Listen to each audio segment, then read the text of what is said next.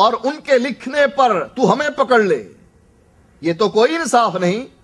गवाही हमारी तरफ़ से होनी चाहिए। क्योंकि हदीस में आता है, बेटे की गवाही बाप के बारे में कबूल नहीं होगी, गुलाम की गवाही आका के बारे में कबूल नहीं होगी। हज़रत अली रज़ी अल्लाह तु ने अपने बेटे हसन को पेश किया काजी के सामने कि ये जिरा मेरी है, जब काजी ने कहा कि जाओ अली, अगर तुम इस जिरा पर दावा करते हो तो अदलील अल मुद्दई अलबैना तो अल मुद्दई, दलील मुद्दई के जिम्मे है। लेकर आओ गवाही कि यह जिरा तुम्हारी है, सबूत लेकर आओ। कहा यह हसन, नबी का नवासा, मेरा बेटा, जन्नती सरदार, दो मुसलमानों के ग्रोहों में सुलह करवाने वाला। इसकी फजीलत बहुत सी है। अल्लाह के नबी इसको कंधों पर बिठाया करते थे। अल्लाह के नबी से सीने से चिमटाया करते थे। ये हसन गवाही देता है कि ये जिरा मेरी है। काजी जवाब में कहता है, अली, बेटे की गवाही बाप के बारे में कबूल नहीं। कहा यह मेरा गुलाम है। अंबर कहता है कि यह मेरी जिरा है। कहा, गुलाम की गवाही आका के बारे में कबूल नहीं। मैं फैसला यहूदी के हक में करता हूँ। यह शख्स अल्लाह से कहता है, अल्लाह यह कौन सा इंसाफ है कि गवाह तेरे वो लिख कर लाए और तू हमें उनके लिखे पर पकड़ ले। यह कोई इंसाफ नहीं। अल्लाह पूछता है, बंदे तू क्या चाहता है? कहा, मैं चाहता हूँ कि मेरे खिलाफ मेरे अपने गवाह पेश होने चाहिए। कहा, तेरे खिलाफ तेरी अपनी गवाही आ जाए, तू उस गवाही को मानेगा? कहा, हाँ अल्लाह, फिर मेरा कोई उजर नहीं होगा। अल्लाह उसकी जबान पर ताले लगा देगा। अब उसका हाथ बोलेगा, उसके पाँव बोलेंगे। अब ये हैरान और परेशान अपने आज़ा की तरफ़ देख रहा है और कहता है, मैं तुमको बचाने के लिए ही झूठ बोल रहा था। तुम्हें आग से बचाने के लिए झूठ बोल रहा था और तुम अपने खिलाफ गवाही दे रहे हो। जवाब में क्या कहते हैं? अंतकन अल्लाह हाथ कहता है मुझे अल्लाह ताला ने कुत गोयाई दी। पाँव कहता है, मुझे अल्लाह ताला ने बुलाया। बोलना जबान का काम है, हाथ का काम इशारा करना है। पाँव का काम चलना है, हाथ का काम पकड़ना है। लेकिन यहाँ कुरान ये कहता है कि हाथ और पाँव और जिस्म के आजाब बोल बोल कर बतलाएँगे। और बुलाया किसने? अंतकन अल्लाह हमें अल्लाह ताला ने बुलाया है। अंतका कुल्ला शई, जिसने हर चीज़ को कुत गोयाई दी, उसने हमें भी कुत गोयाई दी। लिहाजा साबित हुआ कि हाथ में बोलने की ताकत नहीं है रब बुलाता पाँव में बोलने की ताकत नहीं है रब बुलाता है। लिहाजा साबित हुआ कि मुर्दे में सुनने की ताकत नहीं, रब सुनाता। कि देख, अब छोड़कर जा रहे हैं, जिसके लिए तो हलाल और हराम की तमीज खत्म करता था तूने कभी परवाह नहीं की थी अल्लाह के कवानीन की? आज तुझको अकेला छोड़कर जा रहे हैं। नबी अकरम वसल्लम फरमाते हैं अता मलाकान, दो फरिश्ते आ जाते हैं, फ़युक एदान, वो फरिश्ते इसको बिठा लेते हैं फ़यकूला ने मा कुंता तकूलो फ़िहाजर रजुल मोहम्मद सल्लल्लाहु अलैहि वसल्लम।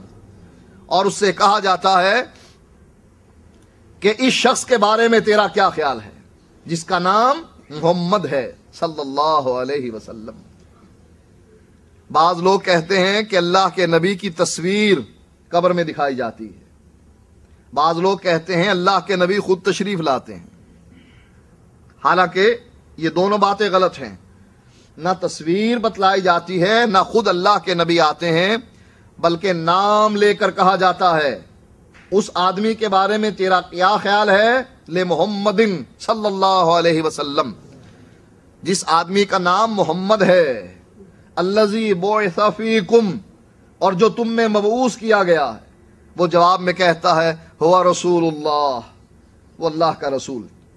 साबित ये हुआ कि ना अल्लाह के नबी आते हैं, ना तस्वीर दिखाई जाती है, ना सामने मौजूद होते हैं, वरना जवाब में मुर्दा ये ना कहता, हुआ रसूल वो अल्लाह के रसूल थे, बल्कि कहता, हाजा रसूल अल्लाह ये है अल्लाह के रसूल। जवाब में कहता, हुआ रसूल वो अल्लाह के रसूल हैं। लिहाजा साबित हुआ कि कब्र में न अल्लाह के नबी आते हैं, न तस्वीर दिखाई जाती है, बल्कि नाम लेकर पहचान करवाई जाती है, अल्लजी बोफ़ीकुम जो तुम में मबूस हुए, उनके बारे में क्या ख्याल है? फ़अम्मल मोमिनो फ़यकूल अशहद अब्दुल्ला व रसूल अगर वो मोमिन है, जवाब में कहता है, मैं गवाही देता हूँ कि वो अल्लाह का बंदा और अल्लाह का रसूल था। फ़युकालजुर इला मक अदे का मिनन्नार कद अब्दाल्लाह बिही मक अदम मिनल जन्ना। फयराहुमा जमिया।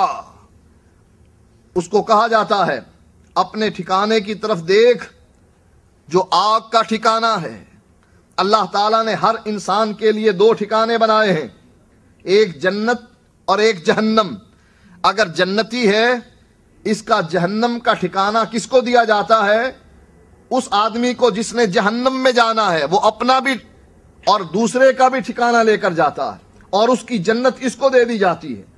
अल्लाह के नबी फरमाते हैं, जहन्नम में अपना ठिकाना देख कि अल्लाह ताला ने इसको जन्नत से बदल दिया। फयराहुमा जमिया। वो उन दोनों को देखता है।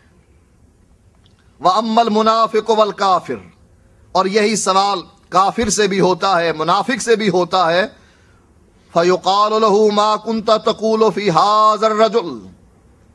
उससे कहा जाता है, इस आदमी के बारे में जो तुम में मबूस हुआ, क्या ख्याल है तेरा? क्या जानता है तू? फ़यकूल अदरी। वो जवाब में कहता है, मुझे कुछ इल्म नहीं। अकूल मा यकूल नास मैं वही कहा करता था जो लोग कहते थे।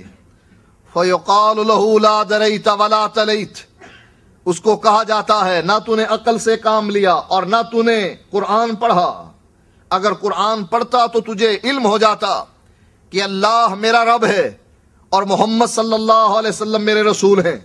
तूने ना कुरान की तिलावत की और ना तूने अकल से काम लिया। वह यूजरबो मतार मिन हदीदिन जरबतन फयसी हो सहतन यस माहा गैर सकलैन। उस फरिश्ते के हाथ में लोहे का हथौड़ा होता है वह उस हथौड़े से इस पर जरब लगाता है और इस जरब की वजह से यह चीखता और चिल्लाता है।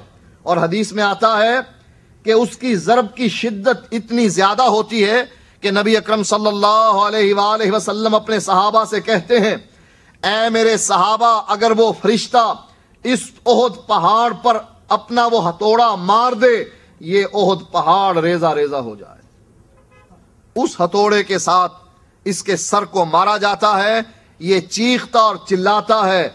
इंसानों और जिनों के अलावा हर चीज़ इसकी चीखों पुकार को सुनती नबी अकरम सल्लल्लाहु से हज़रत आयशा रज़ी अल्लाह तहा एक यहूदिया के बारे में सवाल करती हैं। हज़रत आयशा फरमाती हैं, अन्ना यहूदियतन दखलत अलैहा फजकरत अजाब अल कब्र, फ़कालत अजाबिल कब्र. एक यहूदिया हज़रत आयशा के पास आई और उसने अजाब कब्र का तस्करा किया। और कहा, ए आयशा, तुझे अल्लाह ताला अजाब कब्र से महफूज रखे। फसालत आयशा तो रसूल अल्लाह सल्लल्लाहु अलैहि वसल्लम अन अजाबिल कब्र। हज़रत आयशा ने नबी अकरम सल्लल्लाहु अलैहि वसल्लम से अजाब कब्र के बारे में सवाल किया। नबी अकरम सल्लल्लाहु अलैहि वसल्लम फरमाते हैं, नाम अजाबुल कब्र हक्कुन। हाँ कब्र का अजाब हक है। जो अजाब कब्र का इनकार करते हैं, उनको नबी अकरम सल्लल्लाहु अलैहि वसल्लम की ये वसीयत है, नसीहत है। क्या? नाम? आशा हाँ। अजाबुल कब्र हक्कुन।